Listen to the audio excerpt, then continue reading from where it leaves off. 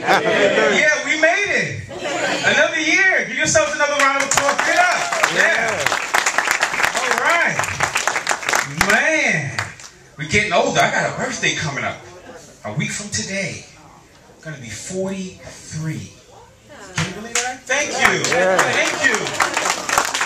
Which means my head is bald and my balls are gray. yeah. Any parents in the house? Parents? Yeah. For yourselves, parents, yes. I found out this morning that I was a father. Oh my God. Yeah.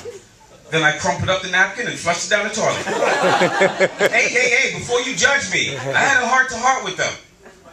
Uh, kids, y'all ain't gonna make it. it's tough, man, being a parent. They dumbing the kids down, man. It's a shame. I heard a kid the other day reciting the alphabet.